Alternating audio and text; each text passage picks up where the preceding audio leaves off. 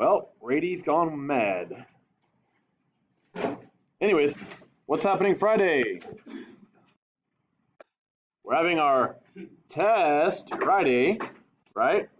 That means uh, that's remember that's your biggest grade of the nine weeks so far. It can really help you. It can also do the other way. Um, I want you to be ready for it. So when we review on Thursday, Thursday, which just happens to be a, a special day of potentially Rady visiting our class. You never know. You never know.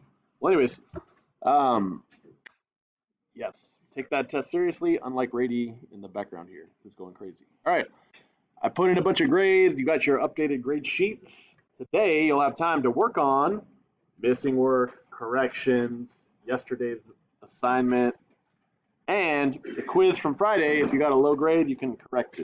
Yesterday, we learned how to write a word problem in standard form, right? What is standard form? I'm glad you asked. AX plus BY equals C, right? The X and the Y are on the same side, and it equals some constant C, some total. Okay, that's different than what we did on the 17th standard uh, slope intercept form. So maybe tomorrow we'll get some mixed practice. But for today, we're just working on finishing that assignment, missing work, makeup work, correction work. Get, let's get right. After this warm up, so let's read it. Jerry Jones sells popcorn for five bucks and hamburgers for seven bucks. I should say dollars, right? Five dollars for popcorn, seven dollars for hamburgers. How many items is that? Two items, right? Hamburgers, popcorn. When there's two items, standard form. So we need to find our x. So popcorn is going to be x. Hamburgers is going to be y. And what's our total? Well, Mr. G wants to spend $30 on popcorn and hamburgers.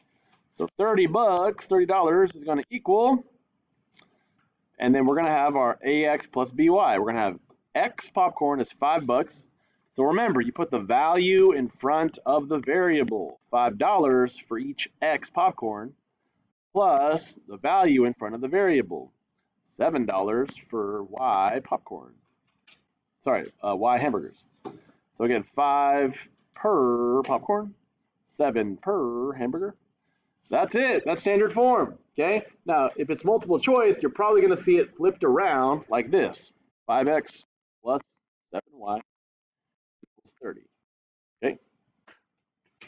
This is not like solvable per se, uh, without some additional information, and we'll do that when we talk about uh, systems of equations. But for now, that's all I asked you to do yesterday. That's all I'm asking you to do today. I didn't even see that. All right, so what are we doing now? Finish yesterday's assignment. Makeup work, work, and if you need to correct a quiz, I need you to do that first without talking about it, without using your phones. Please, I'll come to you. All right, here.